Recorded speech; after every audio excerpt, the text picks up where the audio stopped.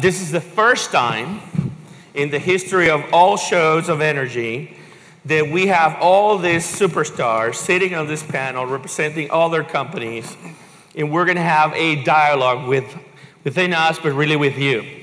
So I'm really excited. So, guys, we have done some rehearsal, and Dr. Amin gave us a bit of a dissertation to read for our panel. And thank you, Massoud. And so the question is, we have heard, uh, you know, early on from Badar uh, Khan from Direct Energy, which I think he did a phenomenal job explaining from the perspective of a competitor retailer what's going on and what's needed. Then we heard an interesting perspective from uh, Steve Wozniak.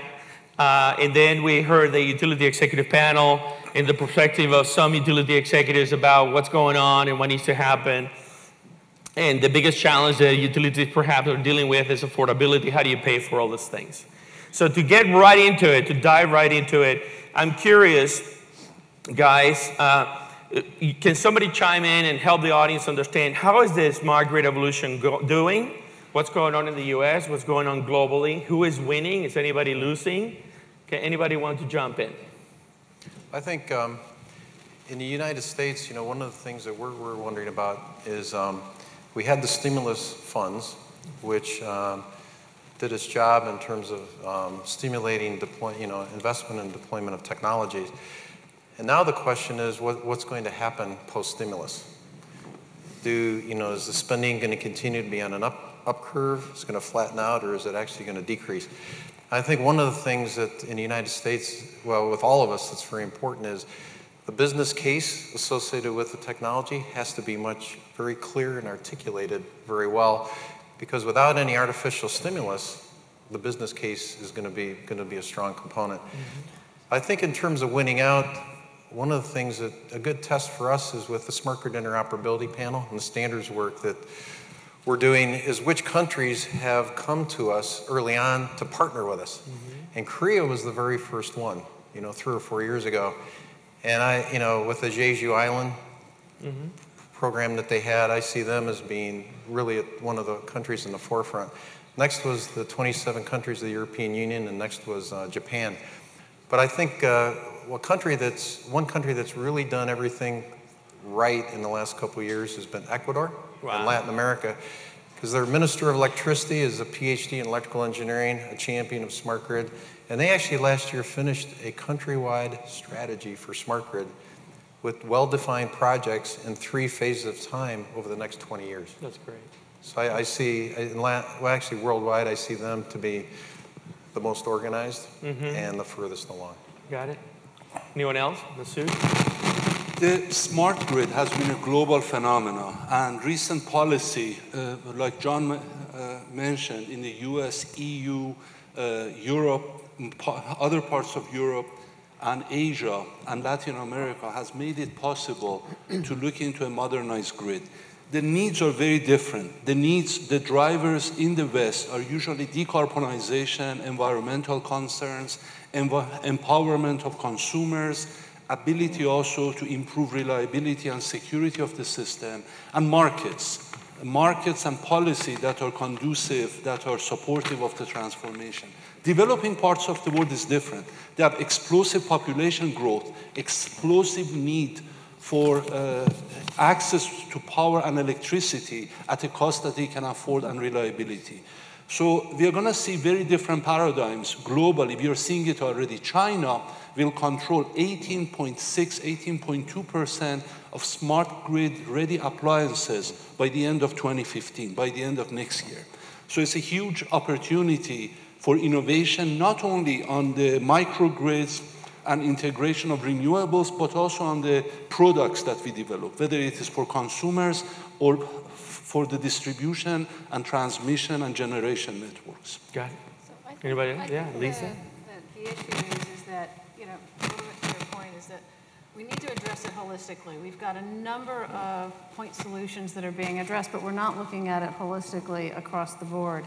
And actually, the slow evolution is a massive issue for the organiz- you know, for all of us in the industry.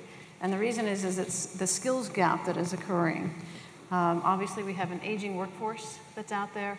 there's great technologies, great evolution from those capabilities, but those that have the knowledge don't want to come to this industry because it's not moving fast enough. Right. It's not enough innovation. So we have got to solve some of these regulatory issues um, across the board that allow the innovation to move at the speed at which those with high technology capabilities are going to address it. And he's going to stick something in my ear in about a second here. Grab this mic. You're getting a new mic.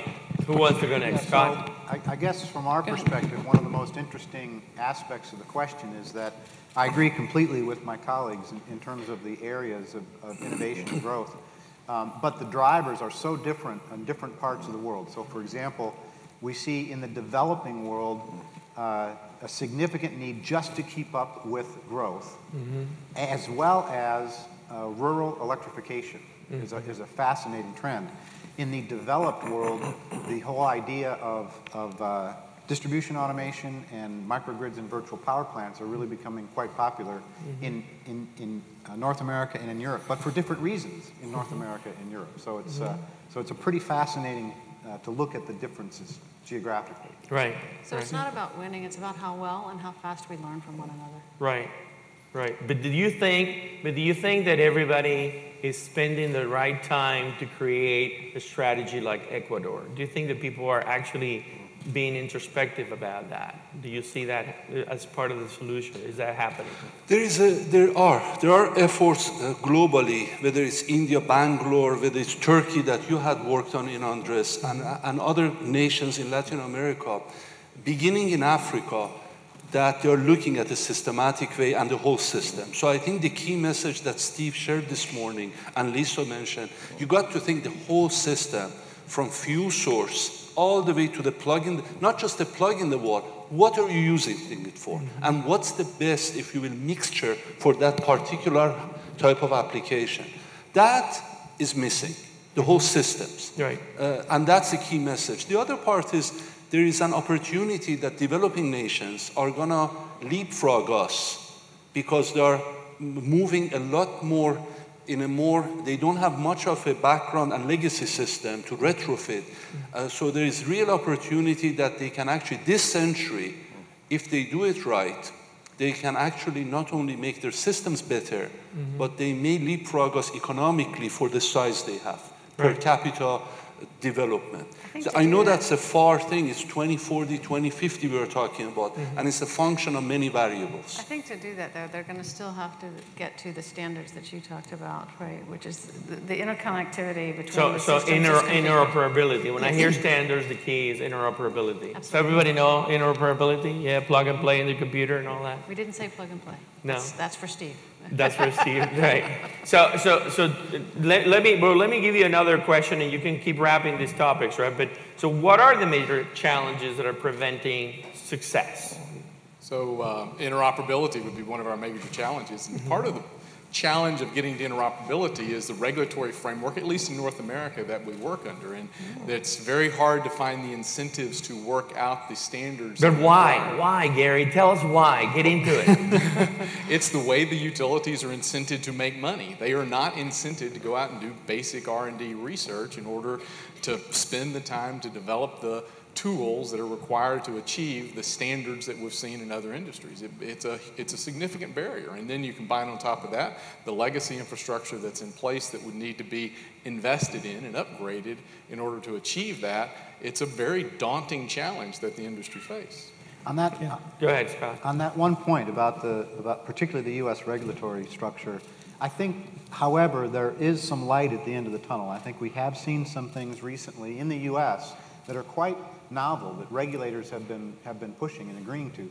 You look at other parts of the world, particularly Europe, it's, it's, it's not the same. It's, uh, it's much more difficult to get new regulatory change through. Yeah, I don't know if there's any regulators in the room, but I would hate to be a regulator these days because you look at what you're regulating. The utilities are under top line pressure and bottom line pressure, and then you've got the residential consumer under rising price pressure. There's, it, there's a hard, it's hard to make a win out of that. I was just going to comment about the federal versus state, and that's really one of the challenges that we face with, with regulation.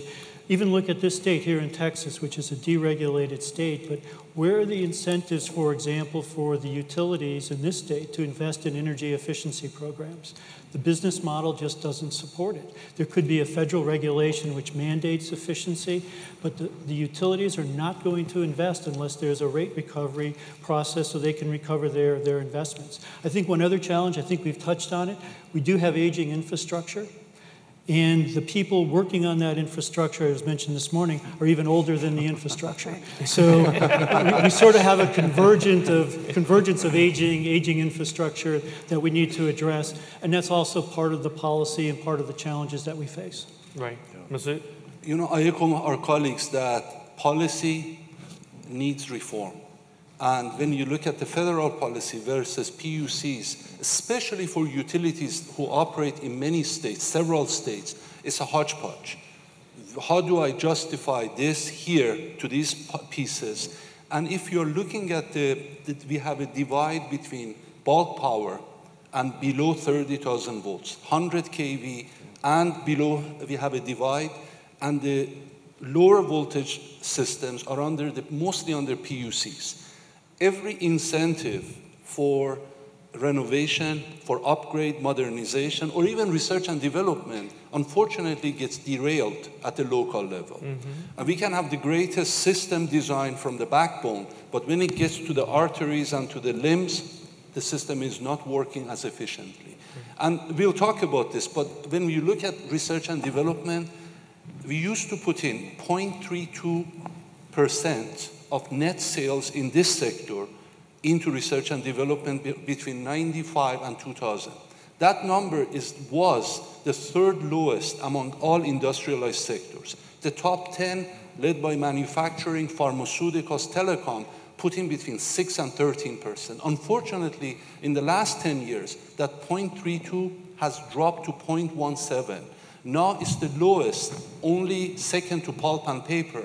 Dog food industry spends more in R&D than we do in this sector, both dollar-wise and percentage-wise. Entertainment, Disney spends more in R&D per capita for their return than we do in this sector. So that has to change. And we have a great opportunity. I'll give you an example. At the University of Minnesota, we have about 120 seniors in electrical and computer engineering. Power is not a required class. How many of, it's an elective. How many undergraduates do you think take the power sequence? It's not required. Very small. About 117 to 119. So people are excited. Young kids have the same idealism that you may experience in this room, even more, but they're pragmatic.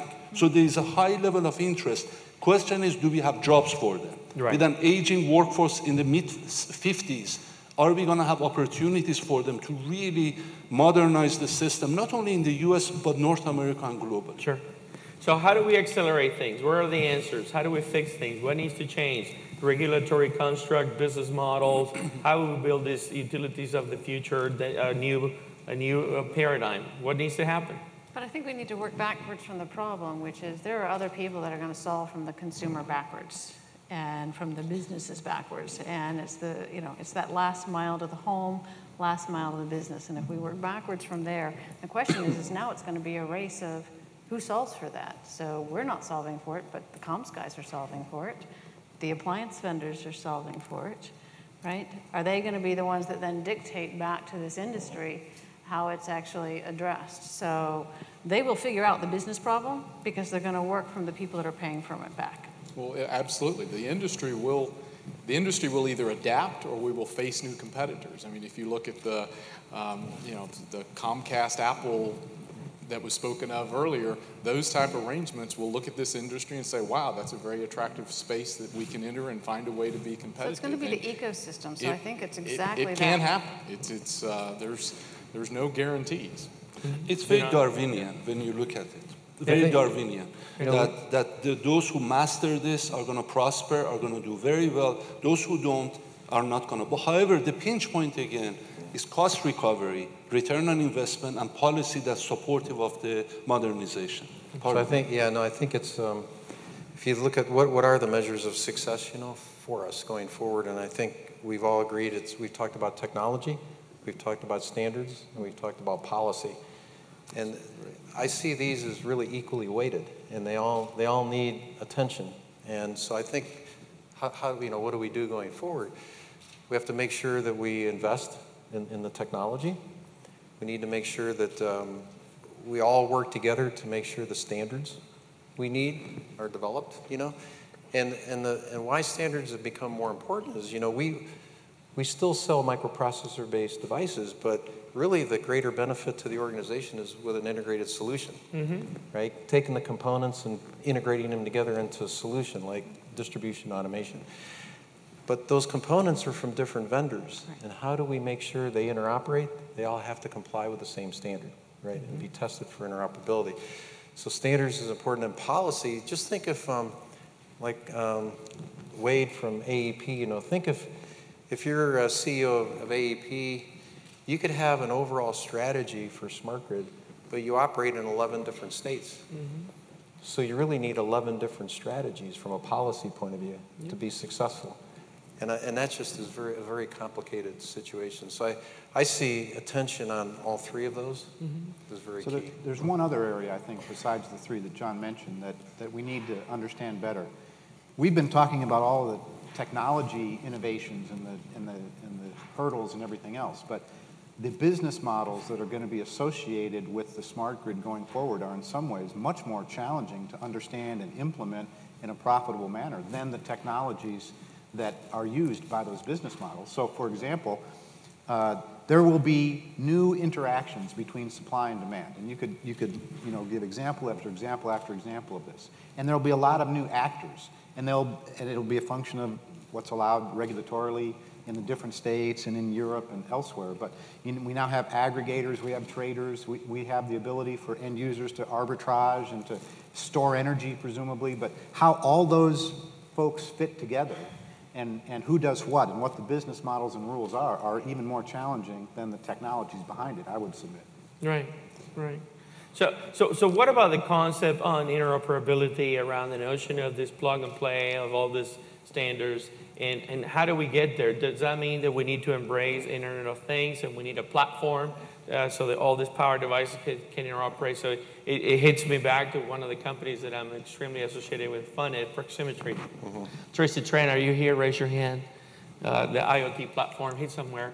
Uh, so do we need do we need more of this, or or how do we But get thi- there? I think it's going to be the dialogue amongst us. It's no different than Steve talking this morning about Apple shares going down when they weren't open and going up when they were. And I Mm-hmm. think that'll happen exactly to all of us. And, you know, it's going to be the conversation. And the onus will end up being very much on us, working backwards from that and deciding what those communications are, because there is no overall governing body to do that. And there will be no single platform, right? There is no single OS today. Today, then you go to a substation, let's say you're a repairman, line crews, whatever you plug in, somebody somewhere has to manually input that, that such and such was added. Then you run contingency analysis again, depending on what has been added. Why can't we develop power electronics and software interface that is self-aware? You plug it in like a USB device mm-hmm. says, oh, such and such added, work that immediately into the equations and up- could update the system. Reduces human error, we can do it. So technology, for the most part, is there to do it. The question is, is the opportunity to do that, can we recover the cost, can we sell the product at a, in a way that would, we can make money on it. Mm-hmm. And the companies that purchase that can benefit from it. So if we really want to improve the system, we need every node to be awake, to be smart, to be responsive, to be minimum footprint on the environment, and to be able to be digging to the data at a very fast speed to get analytics out of it, to know what's going on, to be able to take corrective action, preventive action before it happens. At the same time, not just reliability, but there's a huge potential for electricity. It's the toolmaker's dream because it's pre- precise, you can target how it is used, and it's the most efficient carrier of energy globally. Mm-hmm. We are not harnessing the value of electricity yet. And it's going to take quite a bit of change to do that. So I think there's great opportunity for standards in that area, connectivity of Internet of Things, connectivity from micro, from nano to the macro level. the whole range from your local little device, cell phone, smartphone, all these devices, all the way to the entire interconnection. Right. So, so what about so what about the fact that solar is penetrating, that electric vehicles are penetrating, that people want to manage their appliances and and you know do this thing called negawatts, which eventually translates into the virtual power plant. Can, what's going to happen to the grid today if nothing changes in the utilities design of that grid? Where are we disrupt- heading? Where are we heading? They get disrupted. Well, I think one of the speakers this morning had said he could uh, convert, I, um, I think it was the gentleman from Bluebonnet said he could basically convert his system to a subscription, 40 bucks a month or something like That's where you go. You go to a subscription basis where you're on the grid for X amount a month, and then your power is aggregated On out top of in a different way on, on top of that, right? And that's a, it's a pretty easy model to conceptualize. It's very difficult to implement given the environment that we work in. I think what, you know, we have to learn from, because this is very new for us in the United States, is learn from uh, those utilities that have experienced high penetrations of rooftop solar PV on the distribution system. And good examples are San Diego and California, San Diego Gas Electric and Arizona Public Service. And what we find was if you have like 35% of the homes on the same feeder with rooftop solar PV, Think of the uh, tap changer in the substation. It's a mechanical control device. Instead of operating two, three, four times a day, it's now operating over 100 times a day because of the increased volatility as the clouds and the fog move in and out. So we, we find, and this is from a research point of view, you know, Massoud, is new applications of power electronics because of the increased volatility to the grid of a power electronic based tap changer control uh, dynamic uh, VAR compensation devices that we install on the low voltage network where the disruption occurs with the rooftop solar PV. And now with the uh, change, the amendment to IEEE standard 1547, we can now use inverters to provide voltage and reactive power compensation. So there's, it's, it's a new, it's basically a new world on the distribution system with the increased volatility, but we have you know, we have thought through it. There's new uh, power electronic um, solutions, but this is very new for us. We're just, just embarking on this. So speaking of that, one of our sponsors, Gridco, makes a, a great power electronics tool, right? And also in the audience, we have a company called Vision Energy, which makes energy storage for the grid. And I'm curious, where does Energy Star come in? Does it replace all the tap changers, right? And is it a new way of dealing with energy storage? So I'm here curious to see what, the, what your thoughts are on that. And, and, and, and, and again, the whole notion of th- how do we redesign the grid to, take the, to deal with the reality that DG is happening? It's happening at a massive speed. The genie's out of the bottle. What do we do? John is right on target that he wrote excellent article for intelligent utility, I believe, in that area, showing what the benefits are. And then he wrote a shorter version for IEEE Smart Grid newsletter that's available online. For storage, power electronic based storage, flywheels, you can do very small, 5 kV, distributed throughout the building.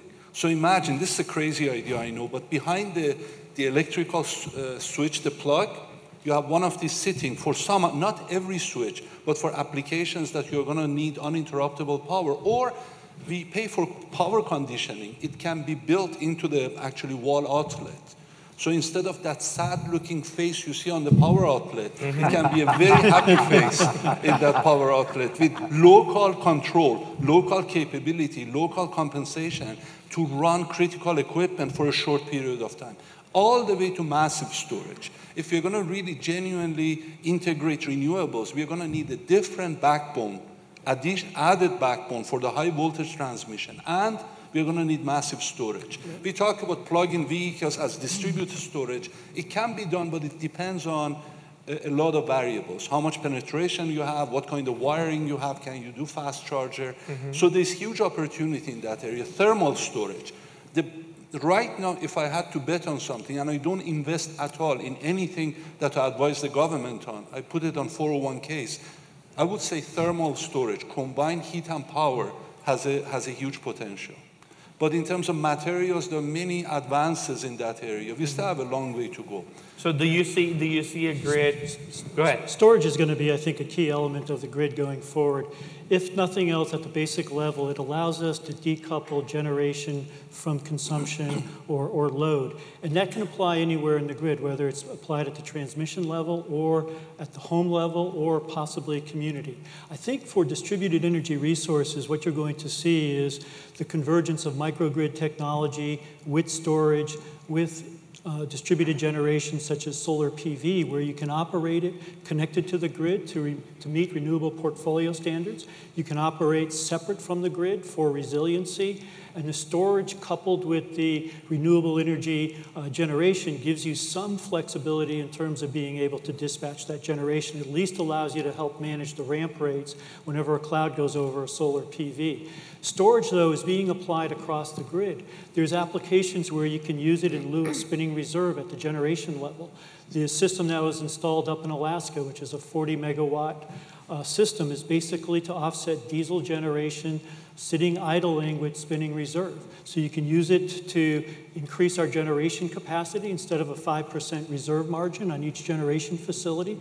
You can put in a battery at the, at the generation plant and free up additional, additional capacity. It can be used with community uh, type of microgrids as well. So we see it at the generation and transmission level for transient stability and spinning reserve. We can see it for load shifting or peak shaving. We also see it for resiliency, and then we see it coupled uh, to uh, distributed generation at the home or, or rooftop. And also, people can use it to store up solar during the day and charge their electric vehicles at night. Yeah, Scott. So um, I agree completely with the professor and Gary, but I would take a little bit of exception to saying that we will redesign the grid. We, we won't. We can't. It's too big. We will evolve the grid into a hybrid mm-hmm. between Tell us about it. between the existing centralized generation, which will stay there Right. for 40 or 50 years. We're not going to build any brand new huge centralized generation, but we'll be investing in microgrids with distributed energy resources all over the place. Mm-hmm. And I hate to, to drag this analogy out too far, but it will be not unlike, from a resiliency perspective, the internet. So you could, you could have failures locally that will not affect wide areas because we'll, we'll be architecting them to be standalone and to be, and to be able to, to be withdrawn. Right. But, but we'll, we'll get there in an evolutionary fashion. Mm-hmm. Just to I build on- agree wholeheartedly. I just, I just wanted to build on Scott's point, though. I think we have seen an evolution to the grid. We saw smart meters, we saw distribution grid management. Now we're looking at distributed energy resources. If we look at the business case, though, investments to automate the distribution system, investments in distributed energy resources, the value in in that is what can we do with our capacity requirements on the generation side? That's where the real money is that's going to drive how we can monetize distributed energy resources and how we can monetize some of the efficiency investments that we make in the grid.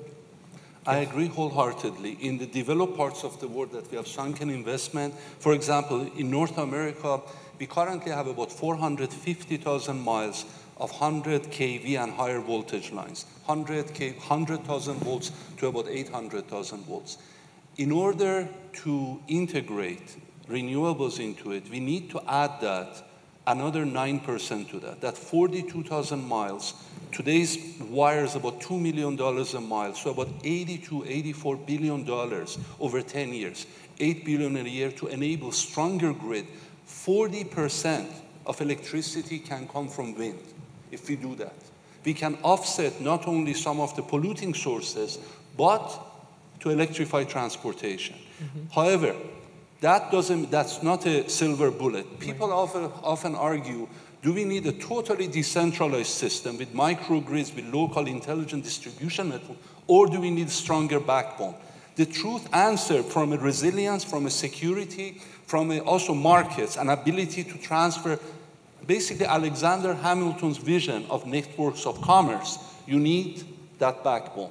So the challenge is how do we remove the obstacles, policy uncertainty mm-hmm. on these investments. We need both actually. Locally to have microgrids that integrate local sources are as efficient as possible and are resilient locally, as well as connected to the backbone that brings in from long distances. A lot of these 42,000 miles will be DC lines, which will be very different than what we're used to. So Tesla and Edison's dream is merging more and more together. Mm-hmm. Whether it was AC, long distance travel by Tesla versus Thomas Edison distribute locally, generate locally, DC network is finally is going to happen. And you're throwing in Alexander Graham Bell's vision on top of that, except with wireless and also with fiber optic lines and so on, which is an exciting century to be in. Absolutely. You know, to, to piggyback on what you said, Massoud, I, I think back to, remember when the Chinese first uh, talked about their smart grid plans?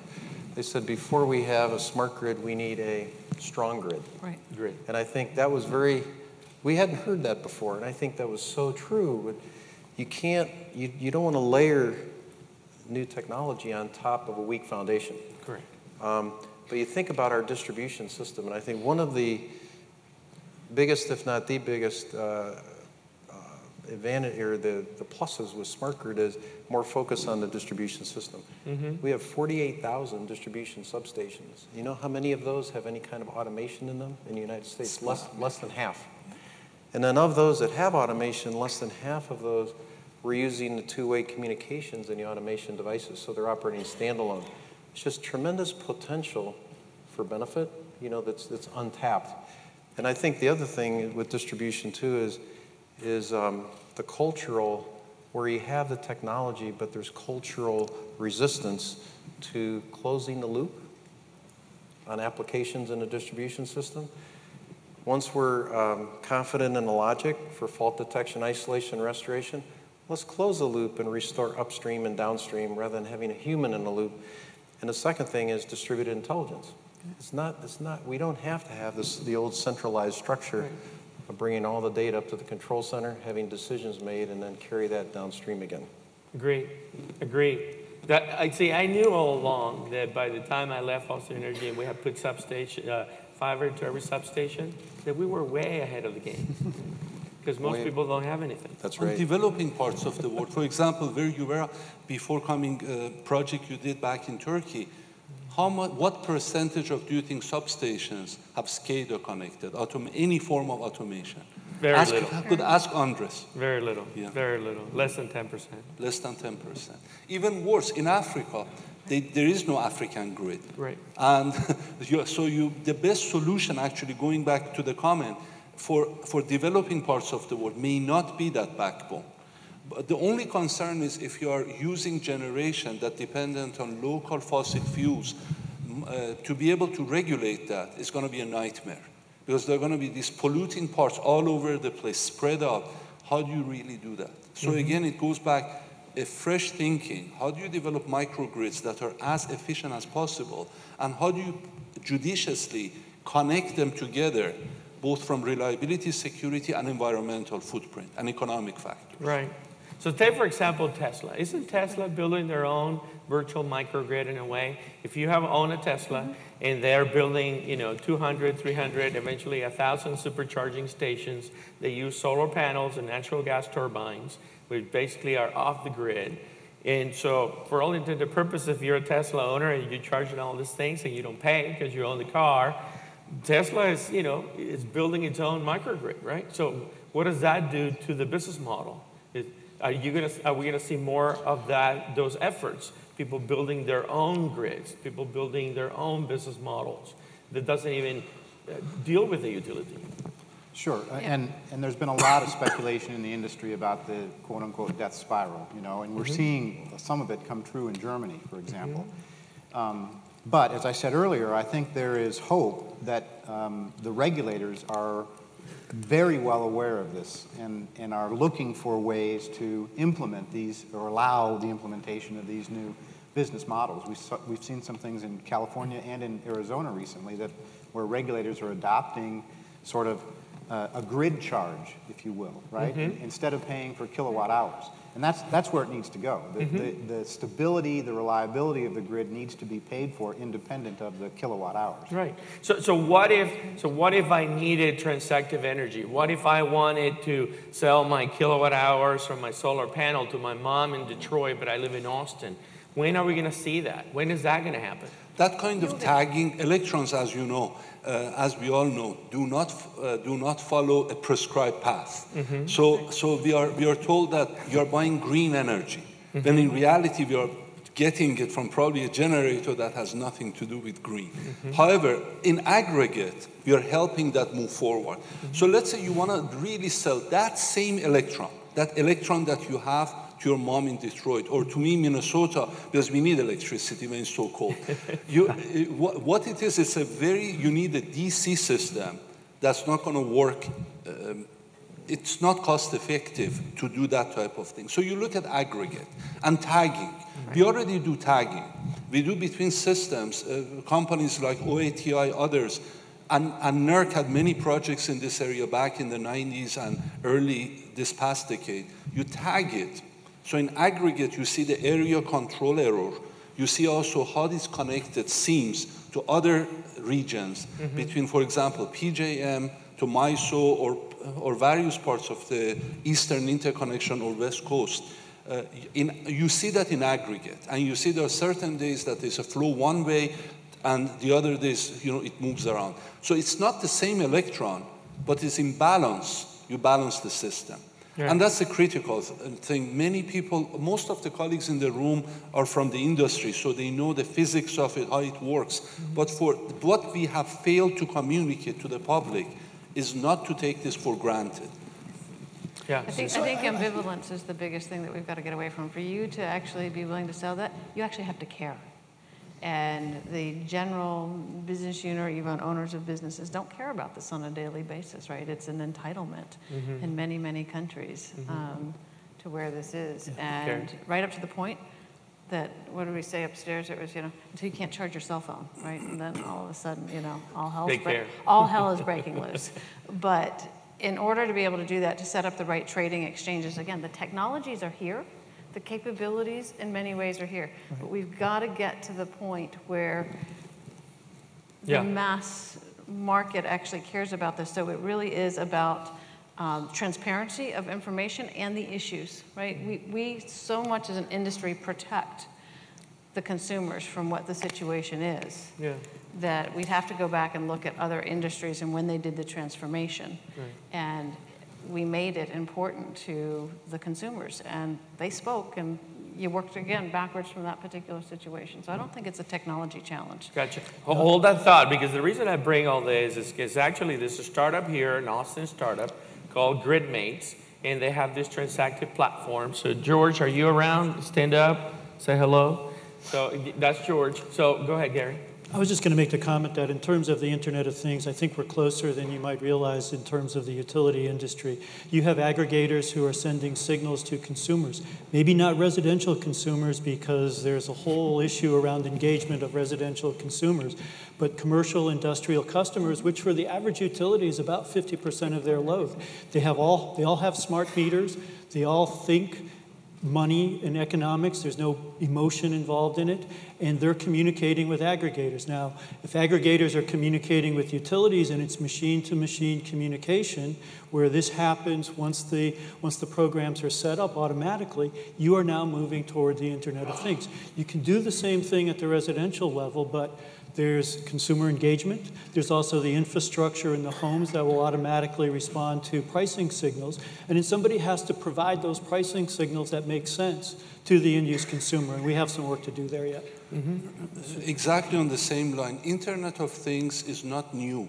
It's the new branding of that, similar to the way the cloud is really branding, branding for the big computers, DEC, IBM, others we used to use back in the 70s and early 80s. So data and intelligence from that data, actionable, is the key. What are you going to do with it? Currently, on an average utility, mid-sized utility, we generate about 70, 75 terabytes of data depending on what instrumentation we put in, and not just people think if they have a smart meter, they have a smart grid. That's only a node. We are talking about end-to-end system mm-hmm. that you're seeing what's going on. You can actually close loops where loops have never been closed before to give the control to the consumer as well as for reliability of the system to the stakeholder who controls it. We are going to increase that 72 terabytes to 840, 860 terabytes. It's a tsunami of data. Our colleagues tell us at IBM elsewhere, Massoud, don't worry about it. We have that for breakfast. It's not a big deal. But to turn that really quickly in the order of tens of milliseconds, or let's say 200 milliseconds, one fifth of a second, into actionable intelligence It's is never a big been, challenge. It's never, been, done before. But can be done. The question is, can we join forces, public, private, mostly private, So- to make that happen? So is the answer a, a, a, nested network of grids that can be islanded at will? That some are, you know, I'm the Dell Children's Hospital here in town, that we put a cogeneration system forward, and if the grid goes down, they can, they have Black Start that can be up and running on their own. And all the way to a community or a neighborhood, maybe they'll want to go solar and they build their grid. Or maybe it's Walmart and McDonald working with Westlake Energy that want to get off the grid using cogeneration. You're right on target, Andres. Also, don't forget the 3,000 bases of Department of Defense. We are currently, majority, almost all of them here and, and elsewhere are connected to the local power company, and that's risky. So how do you make these bases as efficient? And some of the equipment there are very power hungry. Uh, how do you make them as efficient, as self-supporting, and ability to be able to separate from the grid using power electronics and other means? That can be huge pilots, or if you will, application areas for many of the technologies. And whenever DoD uh, supports or applies a technology, the rest of the economic sectors that are not even connected to defense benefit from that. So, I- this is I, an opportunity. I have a question. us. So, so, and sorry, I don't mean to take over your panel, Andreas, but when you talk Please about do. when when you talk about We're Walmart friends. going off the grid and and you know other the microgrid for the hospital associated with oh that's great, but if you're a utility, all of a sudden my revenues are going down, and then you want to pay for all this other stuff, you want to generate terabytes of data, that's going to cost money. How does the business model work if the revenues are going down and we're trying to make all of this investment? I, and, and Andreas, I'll throw it out to the panel, but I think that's a huge challenge in the industry. I agree, Yeah, but the, but the bigger challenge is this, and I go back to Lisa and the fact that they're so focused on customer engagement and what customers want. The customers will do what they want. Commercial, industrial, and residential customers are, already want to buy cars from Christian Okonski and KLD Energy, and they want to use those cars from vehicle to grid and grid to vehicle. I mean, the genie's out of the bottle, guys. So the residential consumer and all, all the cost rides on the back of the residential consumer who can't afford solar or, uh, or energy storage. You're absolutely right. That biggest worry among the utilities is how do I do, what's going to happen that I can not only reduce my uh, consumption, my area, but generate revenue. Some states have passed laws, including back in Minnesota years ago, that you get cost recovery based on how much reduction you do. So you don't lose money, you make money. Many states have not done that. Second part is uh, for this upgrade, we cannot, in a sense, leave others behind. We need to build these public-private partnerships. And there have been mechanisms for funding that, whether it is uh, public, uh, pu- uh, what is called National Infrastructure Bank that used to have bipartisan support, uh, on targeted projects with clear milestones, or whether it's private funding, but not on everything, on key things. And I would say start with demos in 20 nodes, 10 nodes, and show that it can work, that the companies make money, they reduce the rates. I know it's crazy to say that. Reduce the rates while you make money. But Texas has one of the greatest experiments going in deregulation. And the way, part of the way, not the entire way, but part of the way their smart metering rollout um, was got- for. pushed through, not not necessarily, well, paid for. It was paid for based on a monthly fee. But the way it went through, because there were a lot of blockers, was there was something in the legislation that allowed low-income constituencies to benefit from it. And I guess what I'm hearing, we've got to make this big investment, which is fair, and I think we've got to. But you know, what of the of all the consumers? It can't just be for the industrial. It can't just be for construct co- public industrial. It can't be for the high-end residential. There's a good segment of the population that doesn't pay the biggest part of the bill. Sure. Actually, There will, there will always be politics involved in it, but, you know, I think we heard this morning that the mindset has to be that the industry is now an electricity service provider and not just selling kilowatt hours. That's so right. all of those threats that you just referenced a second ago are all opportunities for the, the existing utilities if they can turn their own uh, their own organization that way and get their regulators to uh, to allow them to do it. Yeah. So, so we, need, I want to get to questions. So if you want to start lining up for the mic, uh, give us, a, a, a, you know, a 30 second sense from each of you or less about what, what does the grid look like in 2030? It's a hybrid grid. Is it all utility controlled? Is it all microgrid centric? What's going to look like, John?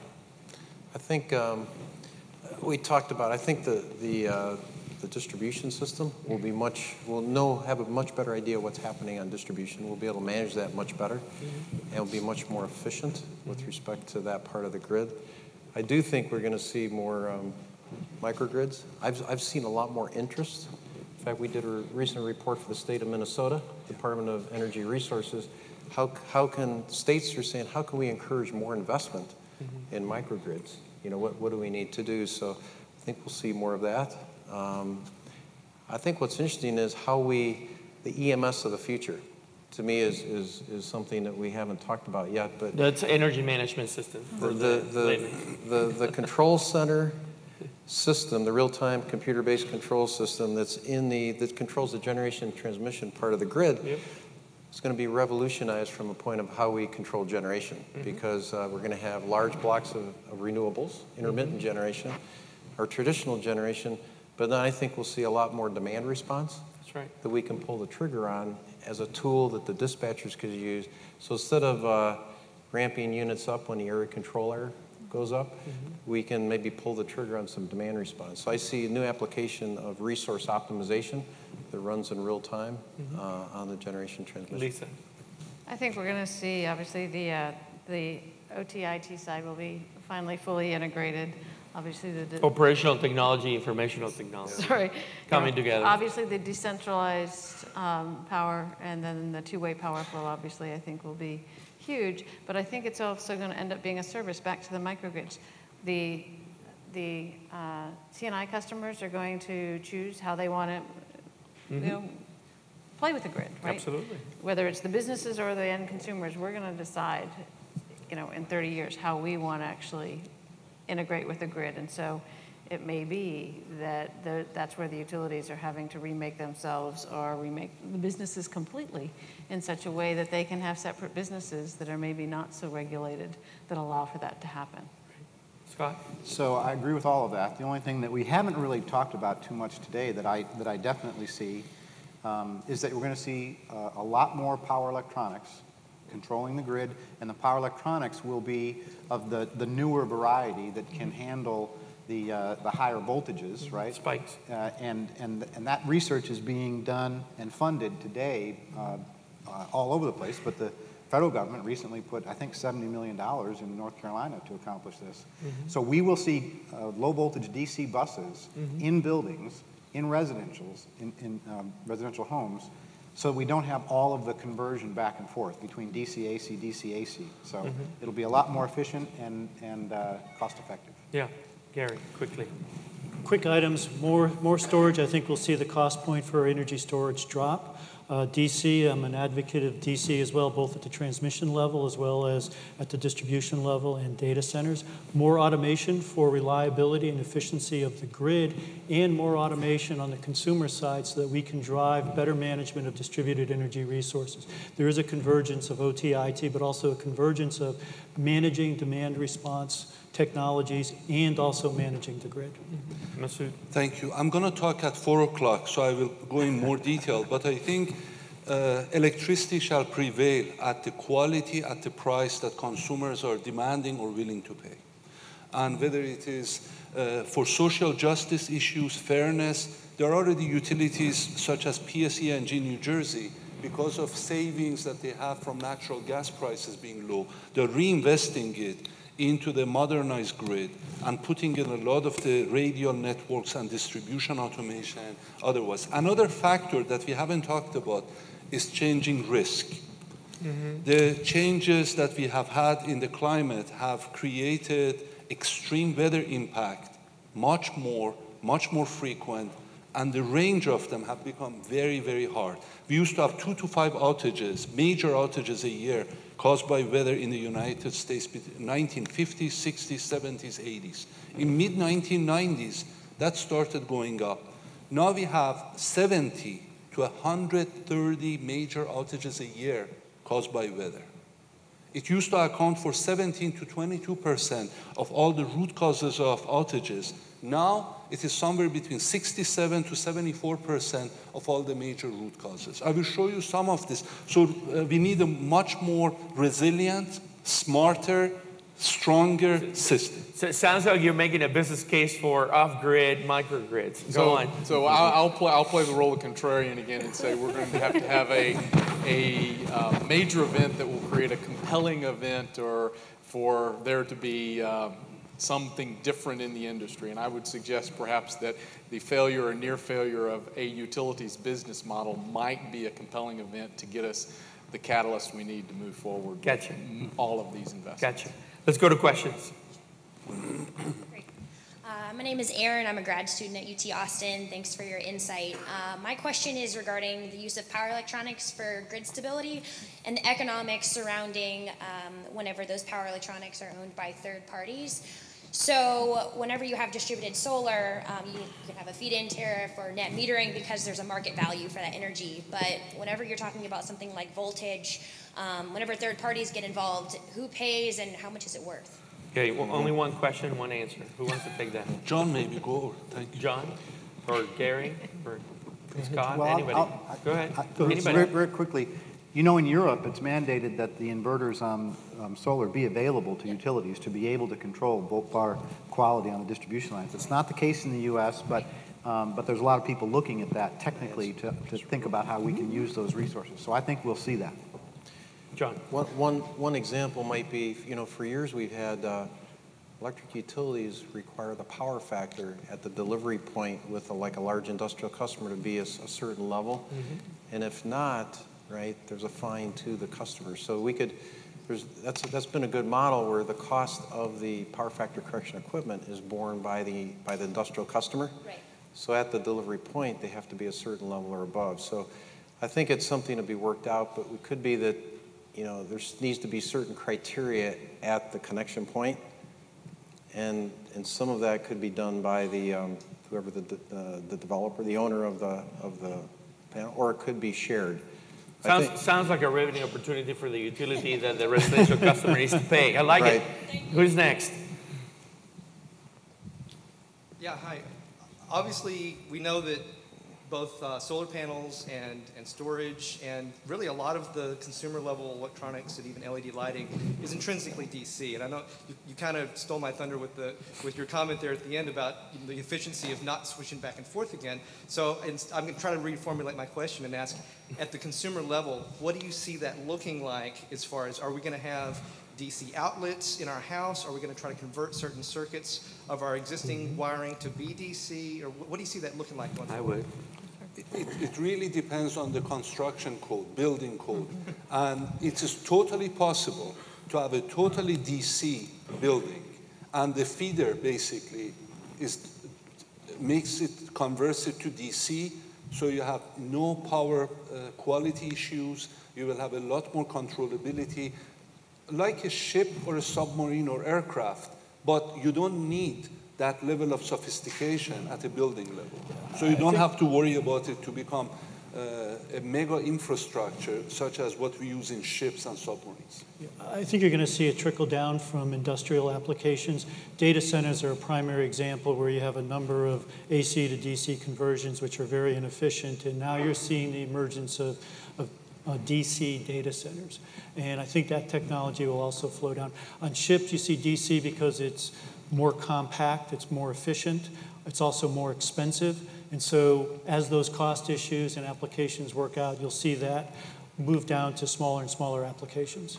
But, but only expensive unless those data centers have their own gas-fired turbines and they're right there on a real hookup. So, so, So- I'm, I'm pushing you all around. So, so real quick, there is an interesting company here, uh, David Carlin, uh, Solid Grid Systems. Are you around? Stand up. So he makes a, he makes a, a, a smart uh, fra- uh, green, uh, a smart uh, steel frame uh, styrofoam insulation. He puts sensors in this frame, in this build, in this frames with for humidity and air quality and, and all this stuff. Like so he's building stuff? actually buildings Back to your that are truly stuff. intelligent. Okay, so go ahead. Question. So imagine, pardon me, imagine that building with totally DC and with combined heat, power, and chilling. You get probably 90 plus percentage kind of system efficiency. That's right. For that, maybe more even, for that building. That's smart, that is eco-sensitive, and saves you money. Building pays for itself over time. Depends what you build, of course. That's right. So at the consumer level, is uh, what do we need to do to get that rolling? We need to change the regulatory, the, the Really, building what? Greg mentioned, though, it's not the solution for everybody. And as my other Greg mentioned, it may not be the solution. You need the cost recovery.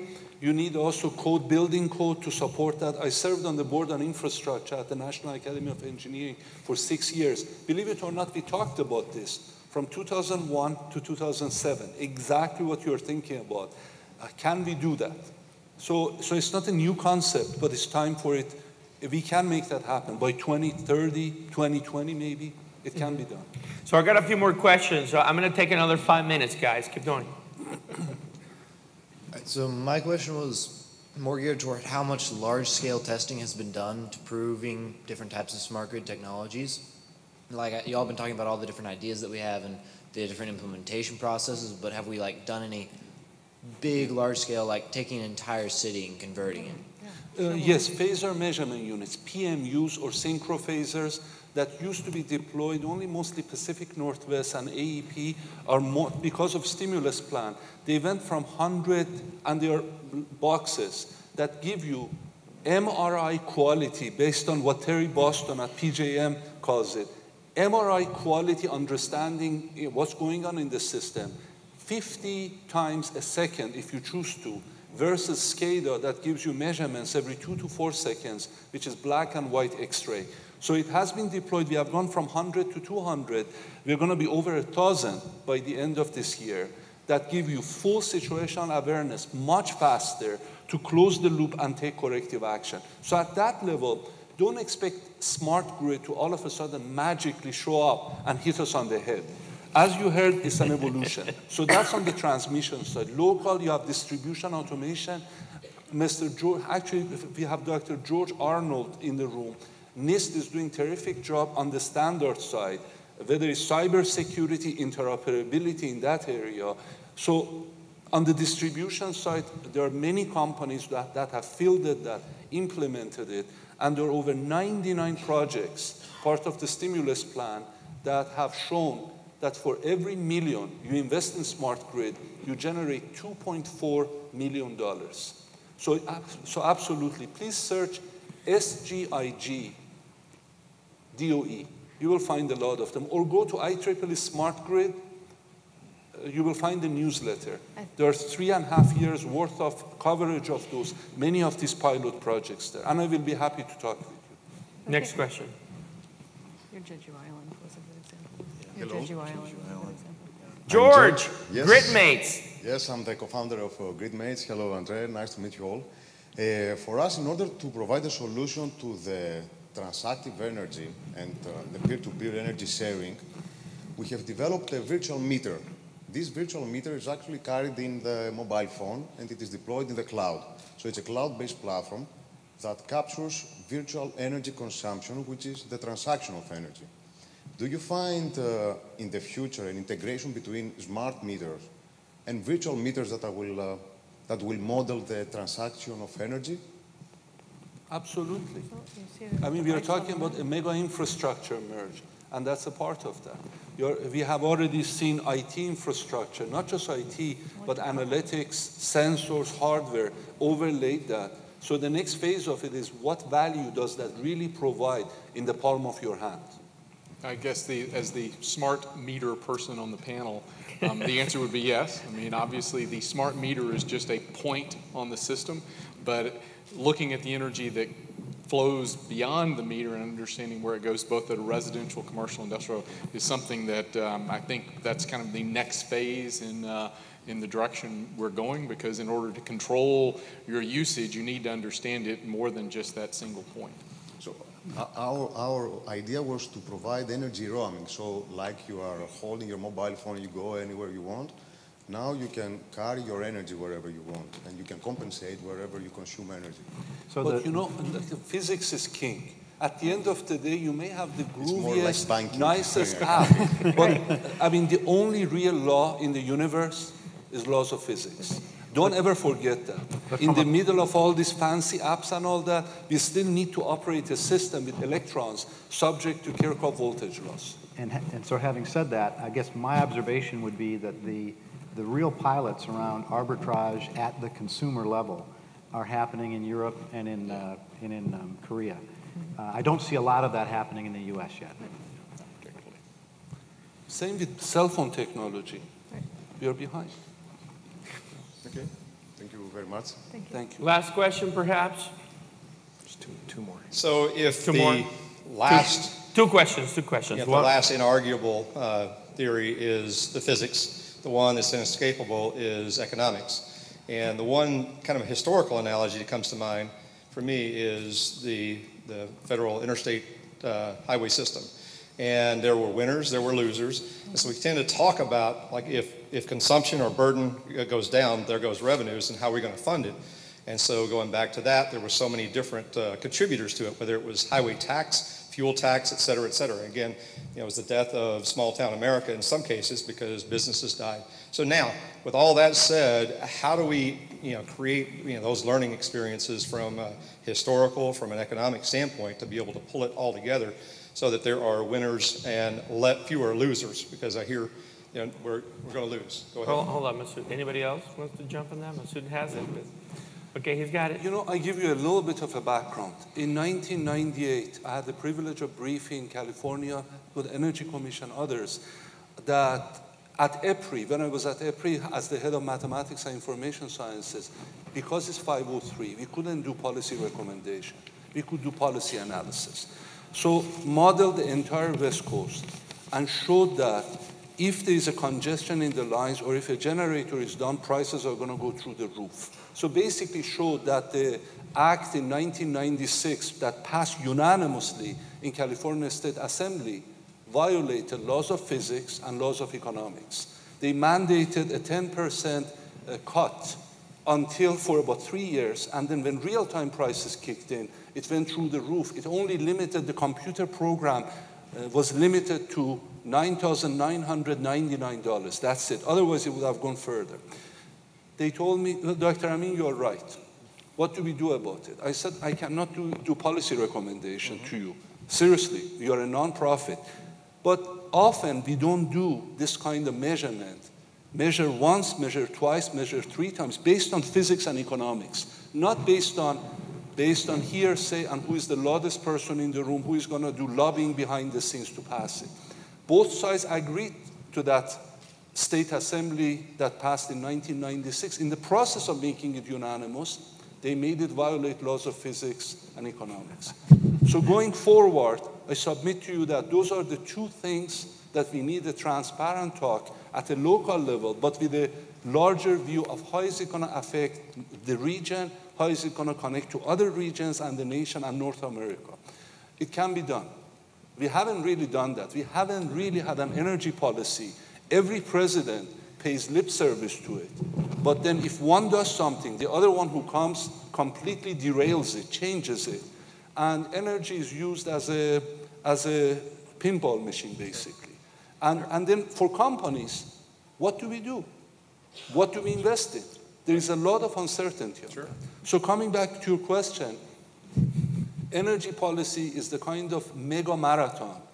Is not a mad rush, a hundred yard rush to get to the end line. Very different from internet or telecom model for that reason. And there's a lot of, from, from FERPA, from background, there's a lot of laws that govern it. So how do we advance progress with this constraint in the macro system, with standards, with technology, and with policy? So with that, unfortunately, I have to close the panel. Everybody, thank this lady and gentlemen.